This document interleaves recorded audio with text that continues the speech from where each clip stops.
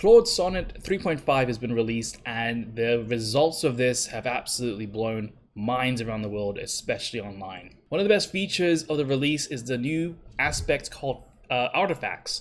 And artifacts is basically allows you to build something live as you're prompting. And here's some key examples of how this looks. So one example of how you can use Claude 3.5 is use it to analyze data, but also visualize it in different ways and also sometimes in very interactive ways. I exported a bunch of my YouTube analytics data and ran it through Claude Sonnet 3.5 and I wanted it to visualize it in different ways so I can understand what is the most impactful content that I've uploaded. I gave it the information, typed in a prompt, and what it did was it looked through my content and the metrics there, and it created different themes based on the content I was, I was publishing um, and the success of it based on the engagement or the views. From there, I, was, I thought, screw it, let's make a, a, bit of a, like a predictive element to this. And I said, hey, let, let's, if I make a video about this X topic based on this theme, uh, based on the data I have so far, what kind of view count am I thinking I should be able to get from that topic based from the data so far? And although this is not like the perfect way to, to look at data, um, I wanted to just test it in a really basic sense. Imagine if you're able, well, you can grab as much data as possible about all your analytics from a different social media account uh, or anything that you're working on, upload it to Claude and just visualize it immediately. I mean, it literally works in seconds and it's one of my fa favorite case studies so far. If you like retro video games, Claude Sonnet 3.5 is also great for creating games on. From just a prompt, you don't need any coding experience. You can code a game and play it live using the artifacts feature. I wanted to create a game similar to Space Invaders, so I did a very basic prompt for that, and it just started to pour it out to me, and suddenly I have a Space Invaders game in front of me. The first iteration didn't really work very well. The enemies were way too frequent. My my character, my ship was moving way too slowly. And what's really cool is that you can ask Claude to edit certain parts of the code for you, and then you can actually see the results of that live. It's all done within the tool, and it's such a fantastic way to ideate and see the process live in front of you.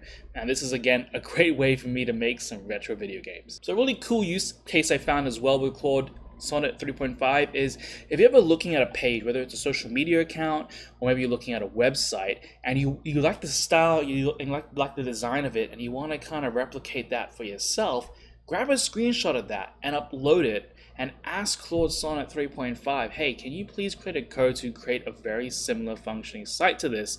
I chose X or Twitter, launched it in there, and before I knew it, it made this interactive social media layout that looks like Twitter 101. Like this is probably what it looked like back in the alpha phase, where it had the menu and the different functions, and you could write posts. Uh, and this can be used, I guess, when it comes to even websites and design as well.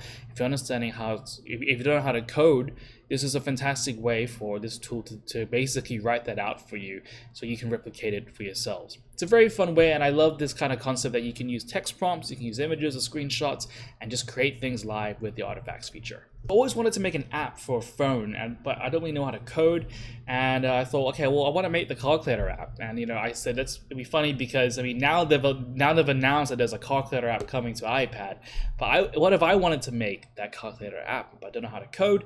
Claude Sonnet 3.5 has my back, and I typed it and say, hey, make the calculator app for iPad and make it so I can test it and use it.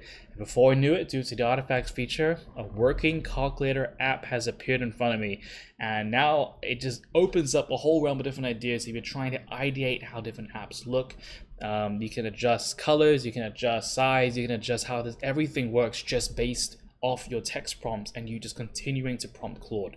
And I just love that you can see the changes in it as you're building it. So making an app and for this this, this basic case a calculator uh, was a really fun and just easy way to use this tool it comes to job applications, uh, AI has become a big part of the process, and I like to use AI when applying for jobs to understand job descriptions compared to my CV or cover letter. So with Claude, you can upload multiple files. I uploaded a CV from a while ago for a job I applied for to a, to a job that I found on LinkedIn that I printed to PDF, um, and I just wanted it to compare my skills what I'd written to that job ad. And the aim for this is to go through a process where I can update different sections of my CV to make sure the keywords align with that of the job ad. What it came up showing me is this like interactive keyword comparison here where it looked at the amount of keywords in my in my CV and you know it gave me like an alignment score to make sure that it matches the type of keywords expected in the job description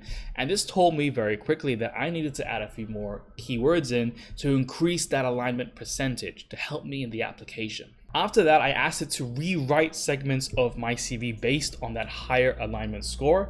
And it's looked at it again and it said your alignment score before was 65%. After adding all the new keywords in, it increased it to 90%. Even though this can't really guarantee you that your CV is going to work and get you the job, I just think it's a really cool, innovative way to look and use AI tools to help make sure our applications are as relevant as possible, especially with the scale of how many applications people put out now. Using these kind of tools can really help you in the process and make you more relevant for the position. So there, there's a bunch of examples of how Claude Sonnet 3.5 is just changing everything and I'm loving the artifacts feature and I can't wait to test more. Uh, and if I find any more useful use cases, I will definitely show it to you. Thanks for watching.